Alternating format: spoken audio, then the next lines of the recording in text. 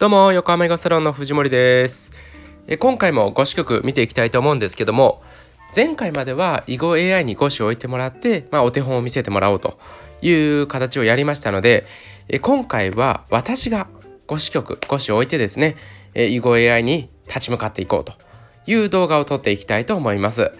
えー、どうしてもですね、まあ、AI の手だと少し難しくてわからないとかそういった声もいただきましたのでより分かりやすくえ打ち進めていく方法をですね、まあ、私が実際に考えていることを話しながらやっていければいいかなというふうに思います。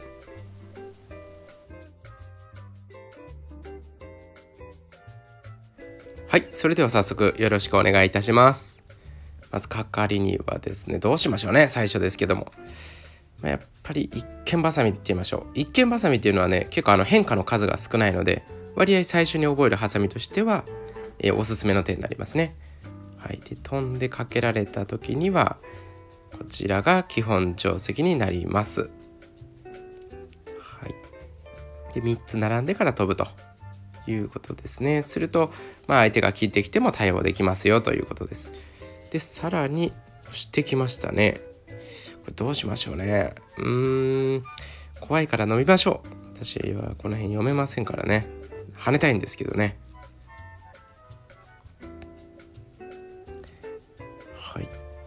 それでも出て切ってきましたね。これはちょっと意外ですね。どういうことなんでしょうね。でもやっぱ上手に打たれると怖いですねこういうのね。なんか理由あるんじゃないかなと。ちょっと思いますけども。これはもう素直に取っときます。はい。で守られたんでそうですね。すると今度上の2子上辺2子弱いので私も二間開きでしっかり守ります。はい。ここはコスミツケから攻めていきたいところですね。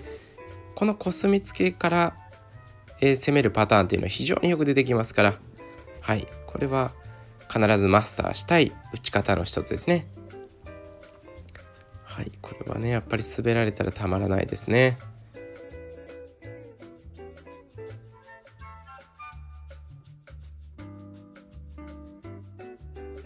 で、隅を守って、まずは非常に効率の良い陣地を左上に作っていきます。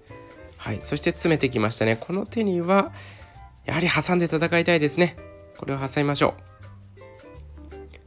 う。そうですね。で、隅の黒をしっかりと生きて、ここで少し悩ましいですが、うん、出ていきましょうね。頭を出しておきましょう。隅もね、まあ、生きてるとは思うんですけども、封鎖されるとやっぱり結構怖いですから、はい、しっかりと外に出して、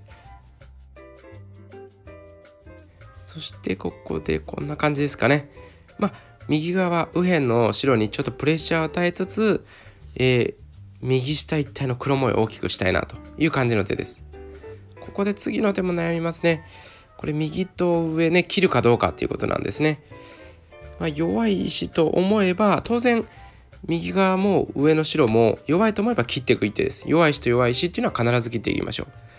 ですけどももし2つとも目があるなと生きてるなと思えば強い人強い人切ってもしょうがないですからね。でこの場合はね難しいんですけどまだやっぱりね右側ね薄いと見た方がいいでしょうね。まだまだプレッシャーをかけていきたいのでここは切っていきます。はい。あでう上辺ですか。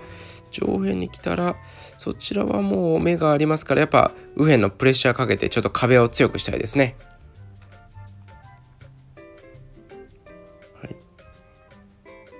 のようにかしてまずしっかりつながりましょうね。はい。そしてこれが取れるのかどうかですけどもこれ難しいですよね。取りに行ってまあ、急須猫を噛むじゃないですけどかえって自分が取られてしまうとかね。そういったケースもよくありますからここはですね非常に難しいところなんですがまずは右下の大場に行ってちょっと様子を見てみようかなと思います。これねプロの先生とかであれば決められるところは絶対決めなければいけないと思うんですけどまあ、我々アマチュアこういうとこなかなか読み切れませんから、はいまあ、白はね一気に来ましたから、まあ、かなり危なかったっていうことなんですよね。はい、ですが、まあ、ちょっと読み切れなかったのでこのように、まあ、右下ね大場に2回打てれば黒模様もすごいですから、まあ、これはこれで不満なしということで、えー、いきたいと思います。はい、そして下辺入ってきましたね今度はこの石を攻めながらどこに地を作るかっていうと当然右下を完成させていくと攻めながら地を取るっていうのが英語ではあの一番理想的な地の取り方ですね。なかなか自分一人で地を取るっていうのは難しいのでやっぱり攻めながら地を取るっていう風にするとまあ入られにくいんじゃないかなと思います、はい、こうなってくるとまあ大体、えー、終わりに近づいてきたかなという印象ですがどうするんでしょうね。もうあまり打つところがないですね。何か怖いところ守っておきましょうか。なんとなくね右上が少し切られたりした時にね目の具合が読み切れないなというとこもあるんで、えー、右上跳ねて、まあ、この辺りはもうしっかりと受けておきましょう。ね。そしてコスミですかね。あとはまあ寄せになるのでまあこれでどうですかね。皆さん、えー、右下がなんとなくね大きいかなという感じがしますのでここから少しちょっと早めに見ていきましょうか。でこの辺ぐらいになってくると眠くなってくるんですよね。私も NHK 杯最後まで見れたことほとんどないですね。もう囲碁大好きですからずっと見てましたけども大抵序盤中盤ぐらいであとはお昼寝の時間ということがほとんどですね。どうしてもね寄せて少し地味な感じがしちゃいますからまあアマチュア特にねそれで苦手という方も多いですけどもはい、まあ、ただねこれはまあもちろん大事は大事なんですけどね。たださらさらと見ていきたいかなというふうに思います。また寄せは寄せでね何かあの需要があればどこかでね取り上げてやっていきたいかなとは思っております。はい。これはもうあとどんどん詰めるだけですから詰めていきましょう。えーとそうですね。これははいここでまあ終局間近の図にしましてこれでほとんどえー、大丈夫ですかね。ダメを詰めておしまいということになります。はい。と思ったら何かやってきましたね。右下3歳ってきました。そうですね。33でも非常に難しいですからこういうのはね死活どうなるか分かんないっていうことは是非やっていただいた方がいいですね。うん。でやっていくうちに分かりますから白は、まあ、正直言うと少し無理なんですけどもはい。えー、まあ、最後までしっかりきっちり取っていきましょう。これもね、まあ、死活の勉強ということでちょっとやっていきましょう、まあ、一戦はねいくつ打ってもあの目がねできませんから。まあこの辺無理してね早く抑えるという必要もないですね。はい。と言いながらちょっと抑えちゃいましたけども。まあこれはさすがに息がなさそうですかね。はい。そうですね。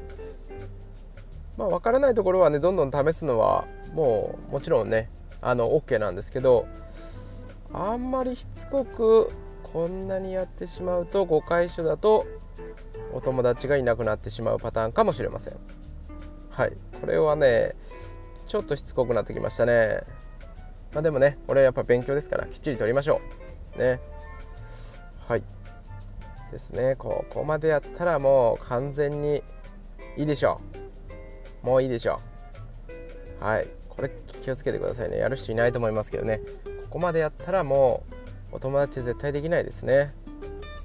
はい。これはまあいいか。これも飛ばしましょうね。で最後じゃあ何目勝ちかというとこだけちょっと見ていきたいと思います。それではえおおよその数字ですけどもだいたい右下が上げ浜取った石を入れると90問ぐらい。右上10左上25、えー、左辺ですかね。15目と。いったところですか。で対する白地が右側に5と。15真ん中15と。で下辺に10と。いうふうになっております。ということで今回は、えー、割合ねうまく打てたんじゃないかなと、まあ、黒が分かりやすく勝つことができたかなと。いうふうに思います。是非皆さんもですね、えー、囲碁の師匠というアプリを使ってですね置き碁の特訓してみたらいいかなというふうに思います。はい。本日も最後までご視聴いただきありがとうございました。チャンネル登録もぜひよろしくお願いいたします。さよなら。